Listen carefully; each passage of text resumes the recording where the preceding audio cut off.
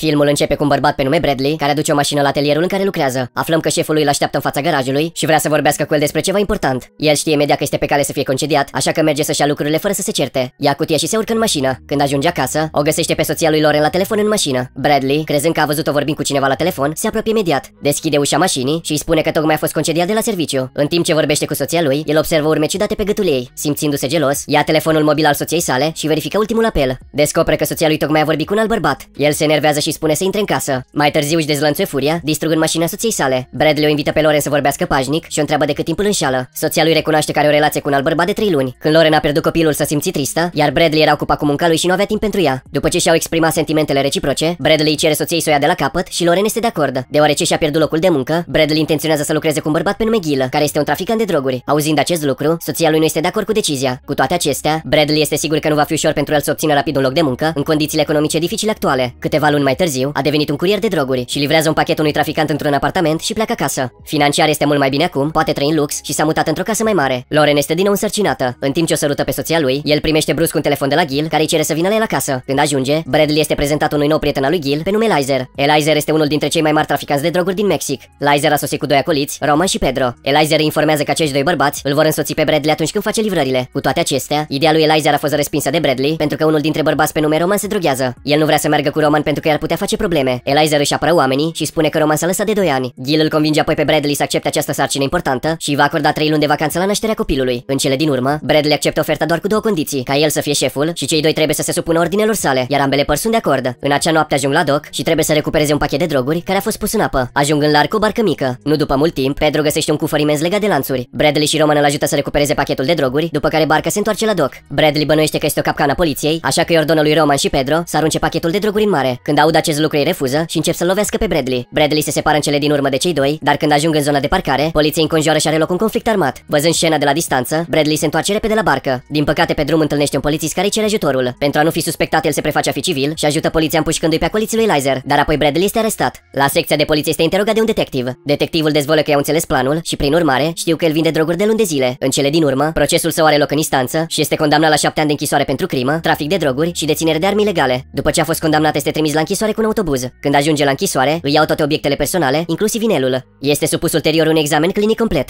Este dus la celula de la ultimul etaj de un bătrân pe nume Lefty. Când Bradley ajunge la celulă, se întâlnește cu managerul de departament pe nume Andrei. Andrei explică toate regulile pe care deținuții trebuie să le respecte. Una dintre reguli este că toți prizonierii trebuie să iasă în fața celulelor pentru a fi numărați când sună clopoțelul. Se lasă noaptea, clopoțelul sună, așa că deținuții stau în fața celulelor și sunt examinați de directorul închisorii. Când toți deținuții stau în fața celulei, Bradley încă doarme, iar deținuții trebuie să aștepte ca el să se trezească. În sfârșit iese și Andrei îl ceartă. Îi se cere să fie mai disciplinat și să respecte regulile. Între timp, în vila lui Bradley, Loren care doarme aude un intrus care a intrat în casă și ia pistolul. Un alt bărbat de la fereastră adorme cu un tranquilizant și Loren este răpită. A doua zi lui Bradley se spune să meargă la directoarea închisorii. Femeia îi spune că un doctor vrea să vorbească cu el. Îi mai spune că doctorul este ginecologul soției. Doctorul a vrut să discute despre complicațiile pe care le are Loren în timpul sarcinii. Bradley întâlnește un bărbat în camera de primire a închisorii. De fapt, nu este un medic, dar este acolitul lui Elizer, care a venit la închisoare pentru a-i spune că șeful lui a pierdut 3 milioane de dolari pentru misiunea eșuată și trădarea sa. Apoi arată o fotografie a lui Loren stând pe un scaun, cu ochii acoperiți și mâinile legate. Bărbatul îi spune lui Bradley că o vor face să piardă copilul dacă nu face ceea ce se spune. Ajung până la urmă la un acord. În scurt timp îi se cere să omoare un deținut pe nume Christopher Bridge, care a fost condamnat la închisoare pe viață. Deținutul se află într-o altă închisoare de maximă securitate, așa că trebuie să facă ceva pentru a fi transferat acolo. După ce Bradley termină de vorbit, Andrei le scortează la celula lui. Între timp se descalță brusc și începe să lovească pe Andrei. Se luptă, dar Bradley îl învinge cu ușurință, apoi îl doboară și îi rupe brațul. Colegii lui Andrei sosesc și încep să lovească, apoi îl duc la celula lui. Bradley, pentru a fi sigur că va primi transferul, îi bate și pe ei până când este doborât cu un șoc electric. Primește ceea ce își dorește și în cele din urmă este transferat la închisoarea Redleaf. Când Bradley ajunge la închisoare, este întâmpinat de director și de gardieni înarmați. Directorul îl avertizează că Redleaf nu este doar o închisoare de maximă securitate, ci o închisoare cu libertate minimă și această libertate va fi redusă dacă face ceva rău. I se face o examinare în mijlocul străzii și apoi este dus la celula lui. Când ajunge acolo observă condițiile și sunt diferite de cele ale închisorii anterioare. Celula este murdară, întunecată și urât mirositoare. Celula este plină de excremente de la deținuți anteriori, deoarece nu este niciodată curățată. Nu suportă mirosul și își folosește maiul pentru a-și acoperi nasul. După o lungă ședere în celulă, Bradley este scos afară de ofițeri pentru a respira aer proaspăt timp de 60 de minute. Când iese se apropie de el un tânăr deținut. Bradley îl întreabă apoi dacă el cunoaște un deținut pe nume Christopher Bridge. Cu toate acestea, băiatul îi spune că nu cunoaște pe nimeni cu acest nume. O clipă mai târziu, Bradley se apropie de alți deținuți care se antrenează. Sunt mexicani, așa că își bate joc de ei numindu-i Burritos. Începe lupta și deținuții cad unul după altul. Ofițerii se apropie de el, dar din nou folosește forța pentru a rupe brațul uneia dintre ei. În cele din urmă este blocat de către director și dus imediat într-o cameră numită celula 99. Este legal la ochi și arunca pe scări. În celula 99 2009, Bradley observă că este un loc izolat care este sub pământ. Înainte de a intra în celulă, îi se pune o centură care le electrocutează și este activată cu telecomandă. Când intră în celulă vede cioburi peste tot. Între timp,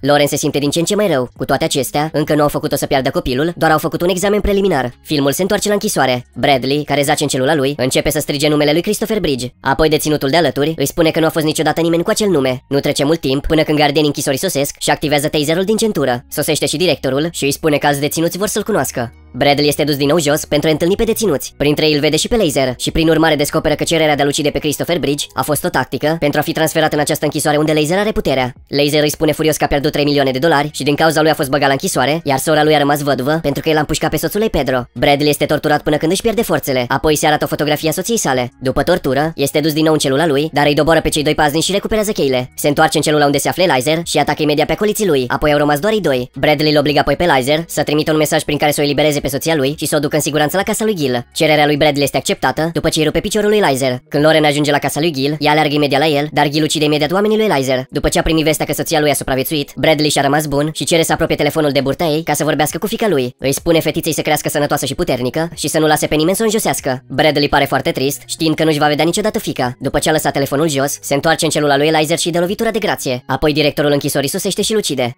Abonați-vă pentru mai multe videoclipuri ca acesta, activați notificările și lăsați un like pentru a ajuta canalul. Mulțumesc pentru vizionare, arrivederci!